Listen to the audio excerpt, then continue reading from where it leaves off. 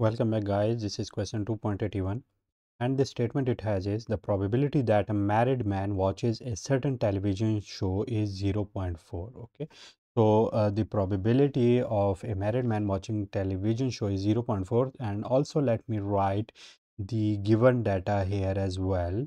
Okay. So the given data here is this so the probability of a married man watches television show is 0.4. So let me represent this married man with this M and the probability it has is 0.4.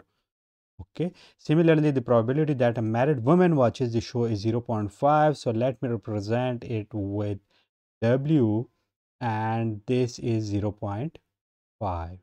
Okay.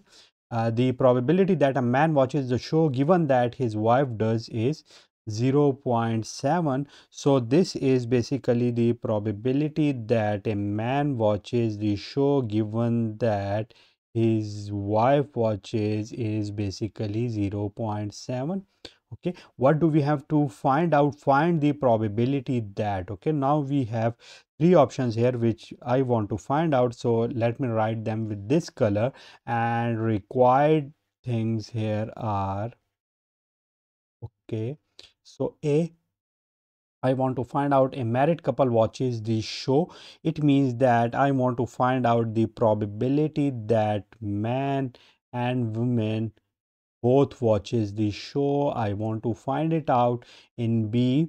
A wife watches the show given that her husband does. So probability of a woman watching the show given that her husband also watches it and in C uh, at least one member of a married couple will watch the show. So this is the or statement in which male or female uh, should watch the show. So therefore, I have to find out the probability that male or woman will watch the show okay so that these are the things which are required so now in order to solve them this is the solution so in part a in order to find the probability that man and woman both watches the show uh, we have to use the conditional probability. And according to which we know that the probability that a man watches a tv show given that woman watches it too is equal to the probability that a man and woman both watches the TV show divided by the probability that a woman watches it okay? So now uh, we can see that what do we have to find out? We have to find this value. So therefore multiplying both sides with this probability of uh, w. So multiplying it what i what i will get? I will get here probability of man and woman watches a TV show is equal to the probability that a man watches a TV show given that a woman watches it multiplying it with the probability that a woman watches it okay? So now uh, we have both of these values this value is given here and also the probability that a woman watches it is also given it given here. So therefore now 0.7 multiplied by 0.5 okay? So multiplying them both what i will get? I will get here 0 0.35 which is the solution of part a of my question okay? So that is the solution of part a.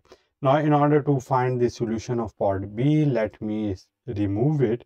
So removing it and finding the solution of part b okay so now in part b what do i have to find out? I have to find the probability that a woman watches a tv show if a man watches it too. So in order to do this i have to use the conditional probability according to which i have this probability that a woman and man both watches a tv show divided by the probability that a man watches it too.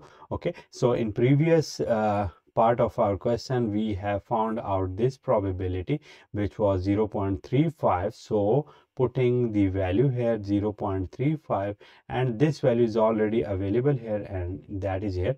So 0 0.4 okay. So dividing 0 0.35 or this 0 0.4 what i will get this is is quite high and that is 0 0.875 which shows me that there is a very high probability of a woman will watch a tv show if a man watches it too okay.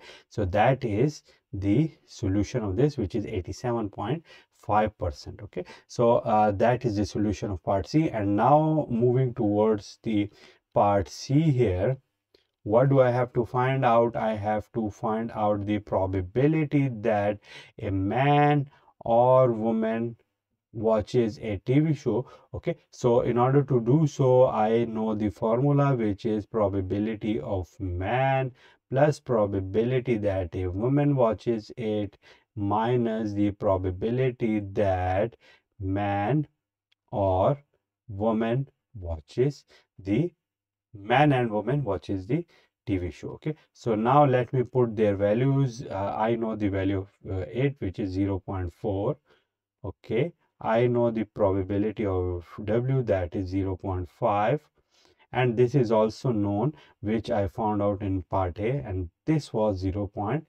0 0.35 okay? So now finding them out and putting them here what I will get you will see that the answer of it will be 0 0.55 and that is what that is the solution of part C which I wanted to find out okay? So uh, that is the solution of all the three parts of our question 2.81 and I hope you have understood all the underlying concepts. So I will see you with some more interesting stuff in our upcoming video. See you soon